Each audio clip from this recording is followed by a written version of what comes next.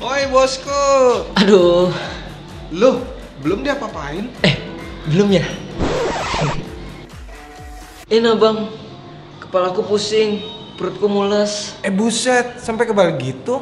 Habis makan berita, nyata hoax semua ya. Kalau ada berita itu jangan ditelan mentah-mentah. Siapa tahu hoax, di cross check dulu, disaring sebelum di-sharing. Hukuman buat para penyebar hoax itu berat loh. Sanksi sosial dapat, sanksi dari Pak Polisi juga bisa dapat.